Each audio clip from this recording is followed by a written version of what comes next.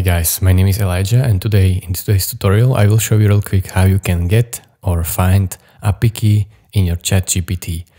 So first thing you want to do is go over to this website platform.openai.com click enter. And now it will prompt you to log into your account. So log into your account, I will log with Google and then uh, if you have entered password in this day, you don't have to enter password right now as I don't have to.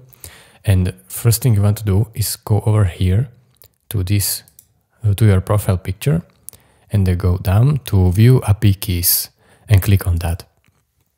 And now as you can see, you will here see all of your created secret API keys and to create a new one, you have to click on this button, create new secret key.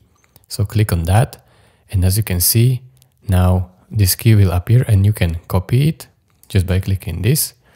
And keep in mind that, that uh, this API key uh, will be not visible for you anymore, only this time. So copy it and save it to a secret place.